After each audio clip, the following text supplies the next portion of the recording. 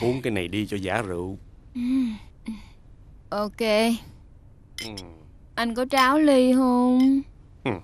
Để làm gì? Để cho nó thân thiết. Cần gì phải như vậy? Em thấy không? Đám cưới người ta chỉ cần ngoéo tay với nhau Là thân thiết lắm rồi. Nè. Chúc mừng em một bước lên ngôi nữ hoàng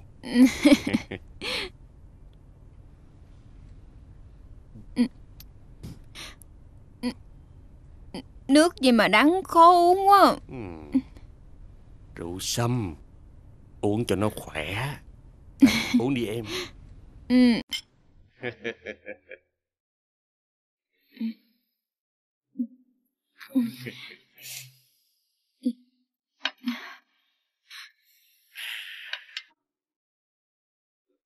Sao? Em khỏe chưa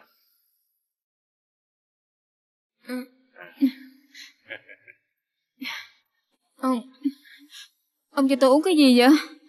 Ừ. Rượu sâm cho nó khỏe. Giả Ừ.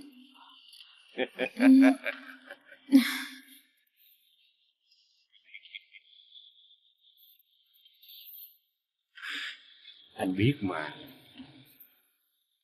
Trước sau Em cũng sẽ thuộc về anh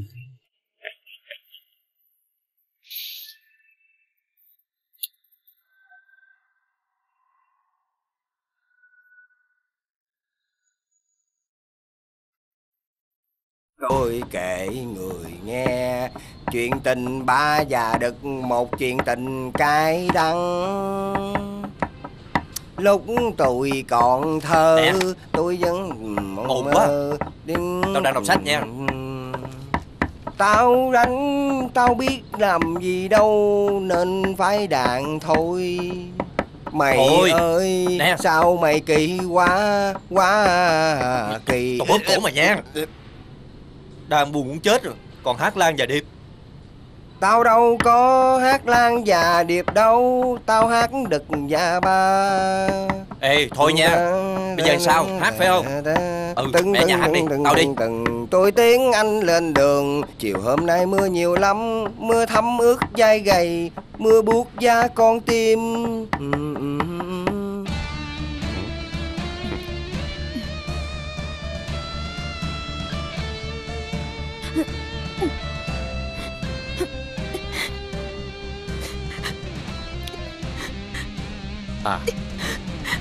Em tỉnh rồi à? Anh không ngờ em còn con gái. Em yên tâm. Anh sẽ không đối xử tệ với thiên thần của anh đâu.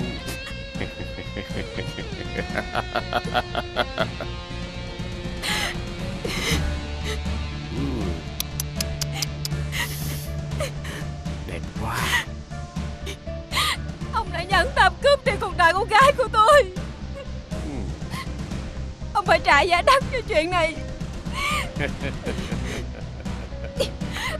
Ông phải trả giá đắt cho chuyện này. Nè nặng lời với tao. Chẳng qua Tao chỉ muốn cho mày tìm cảm giác lạ thôi. Tôi có kinh nghiệm để quyến rũ đàn ông sau này mày hiểu chưa? Ông là một gã trơ tráo Một loại người mát hèn Câm nghiện lại. Nãy giờ tao nhịn mày nhiều rồi Mày biết chưa Hả? Từ trước tới giờ, Không có đứa con gái nào dám nặng lời với tao. Mày đừng có thấy tao cưng rồi mày leo lên nghe chưa? Mày nhớ, Tao đưa mày lên được, Tao sẽ đạp đầu mày xuống được. Mày hiểu chưa? Mày hiểu chưa? Buông ra! Buông ra! Ông đã cướp đi cuộc đời con gái của tôi rồi. Bây giờ ông còn đỡ dám hăm dọa tôi nữa hả? Đồ khốn nạn. Câm miệng lại. Mày tỉnh chưa? Lớn tiếng với tao. Để không có lợi đâu. Nè. Coi như tao bồi thường cái ngàn vàng của mày. Cầm lấy rồi câm miệng lại.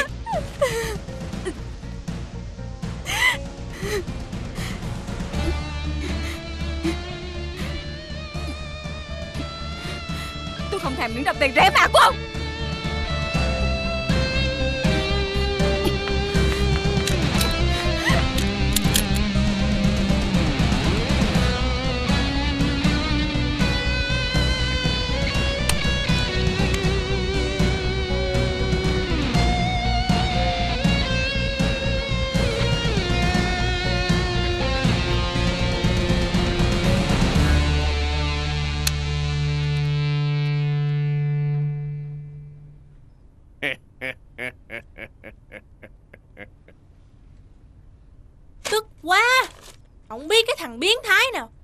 Vẽ hình chị em tụi mình Đăng tùm lum vậy á.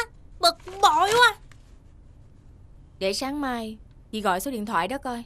Người nào mà vẽ bốn chị em mình như vậy? Ừ. Không được. Giờ em phải qua phòng dì Sáu mượn điện thoại gọi liền. Là biết ngay cái thằng biến thái đó là ai liền. Em đi nha. À, Trời, Trời ơi.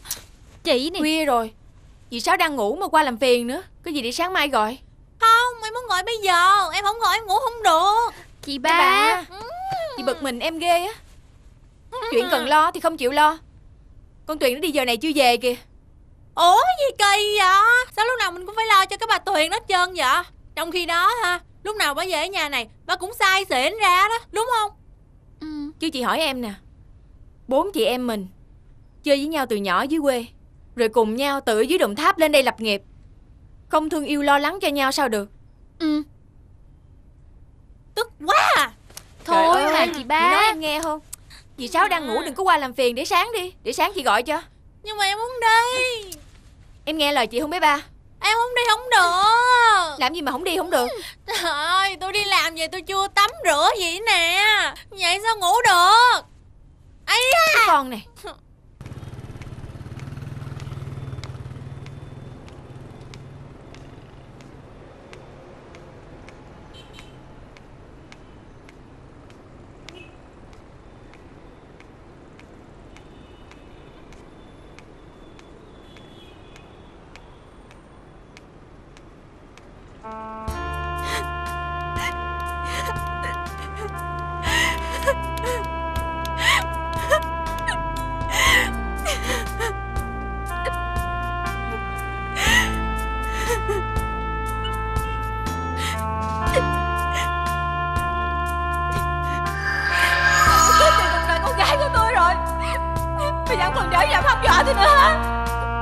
Đồ nè Câm miệng lại Mày tỉnh chưa?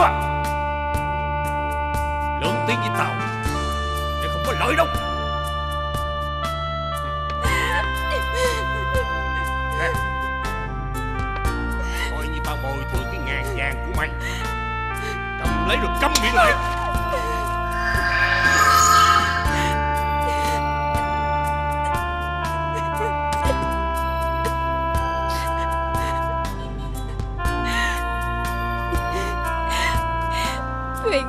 Tuyên, Mày khôn lanh lắm mà. Tại sao? Cái ngàn vàng đó của mày đáng lẽ phải đổi nhà lầu. Thôi Mà tại sao? Chỉ một phút ngu ngốc của mày thôi. Mày đã để cho gã đàn ông đó lấy mất tất cả tài sản của mày.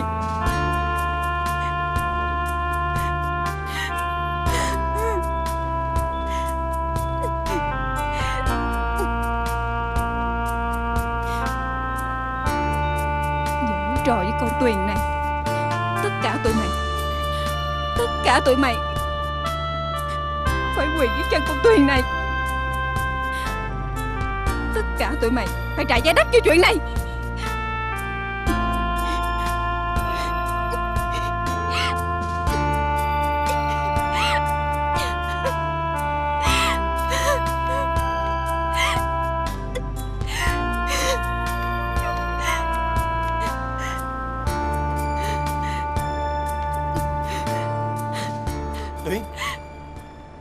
Trời ơi Sao em như vậy?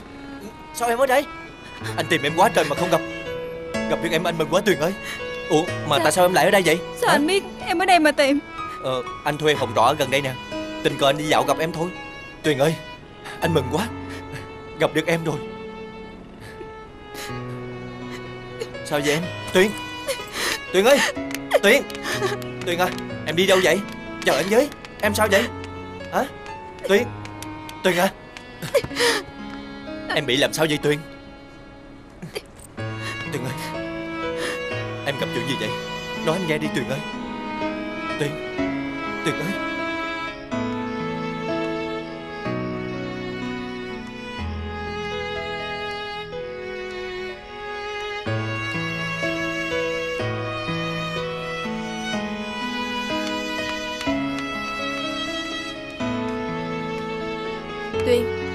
Trễ vậy?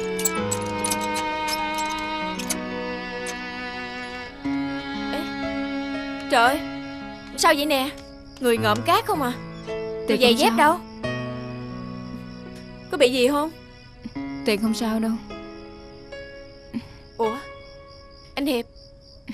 Tình cờ đi làm về Gặp anh Hiệp Rồi đi chung với ảnh về nhà luôn. Mà có sao không? Ừ, Tiền không sao đâu Thôi Tiền mệt quá à. Đi nói chuyện với anh Hiệp đi. Tuyền đi nghỉ đây.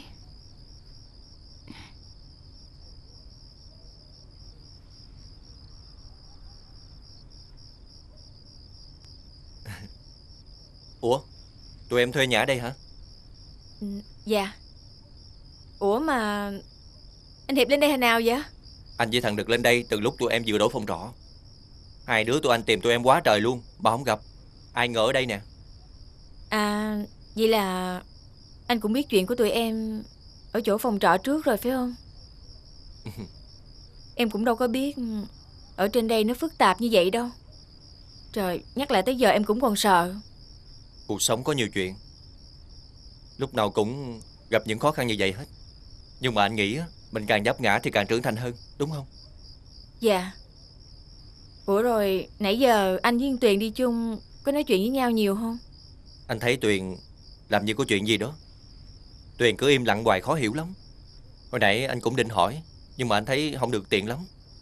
Anh định ngày mai Tuyền bình tĩnh rồi anh sẽ hỏi thăm. Ờ Cũng lần đầu tiên Em thấy nó phờ phạt như vậy đó. Không biết có chuyện gì với nó không nữa. Em cũng lo cho nó ghê á. Ủa Mà em quên nữa. Rồi Anh anh Hiệp lên đây ở đâu? Em coi có vui ghê không? Anh ở cách đây một con đường thôi. Ngày nào tụi anh cũng đi ngang đây hết Mà có gặp đâu. À mà thằng Đực nó còn nghĩ ra cách là vẽ hình tụi em Rồi đi dán lung tung để tìm manh mối đó. Trời Vậy là cái bức vẽ đó Là do anh với anh Đực vẽ đó hả? Thằng Đực vẽ thôi. À mà nó có ghi số điện thoại lên tấm hình nữa. Sao tụi em không liên lạc? Ờ thì tại vì con bé ba nó cũng mới đem cái tờ giấy đó về thôi à. Em có thấy số điện thoại Nhưng mà định sáng mai mới gọi Không ngờ bây giờ gặp anh luôn nè. Em coi đó Cuộc đời lúc nào cũng trùng hợp. Ờ... à... Thôi khuya rồi anh về nhé. Em vô coi Tuyền sao rồi nha Dạ. Anh về nha Dạ.